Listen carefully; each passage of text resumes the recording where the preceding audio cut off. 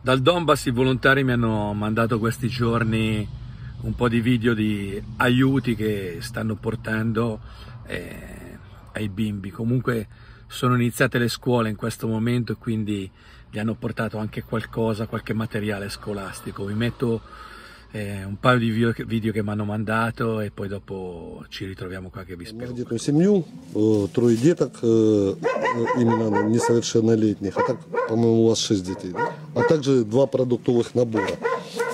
Э, Продукты, это вам. Э, Приехали на поселок Трудовский, это 12 Немножко, как говорится, э, привезли им канцелярии. Вот. Канцелярия деткам. Троих нету, мы сейчас еще троим передадим там. И карандаши, и тетрадки. О, сейчас. Здесь и альбомы,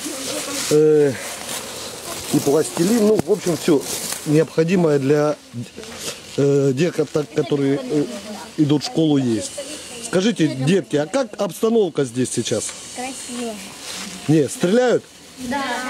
А сегодня стреляли? Да. Да. Сильно, да?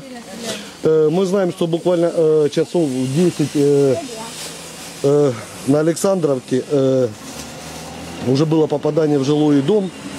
То есть а дети... Александровка находится буквально вот 500 метрах отсюда. И очень сильно здесь стреляют. Друзья, да, вот мы троим передаем, вот трое больницы, это, на, Ра- это на Роборовского.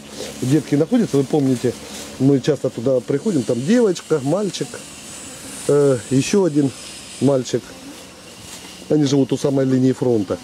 Э, друзья, огромное вам спасибо, низкий поклон за то, что вы помогаете деткам. Вот одна девочка не пришла, вот одна. А это троим, вот куда в магазин не отдам, Алина отдаст. Они, и больниц троим, ой, три, все, да. Спасибо вам, друзья. Ну что, скажем спасибо? Спасибо.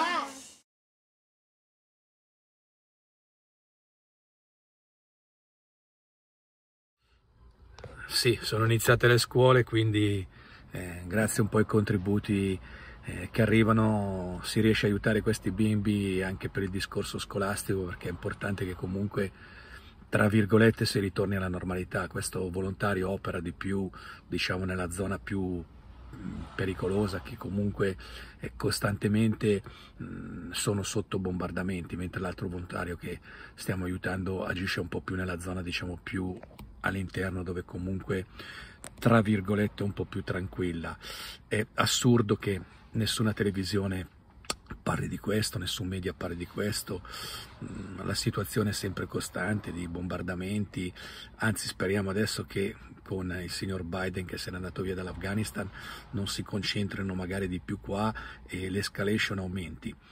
È assurdo che dei bambini vivano in queste situazioni, che la gente vive in queste situazioni, è assurdo che eh, in Europa abbiamo ancora oggi eh, qualche situazione, delle situazioni del genere e che non trionfi la pace. È, è assurdo, tutto assurdo, come la gente non possa andare d'accordo fra di loro. È veramente, sono cose terribili a pensare nel 2021. Io ringrazio tutte le persone che ci danno una mano per questa situazione, non solo per questa situazione.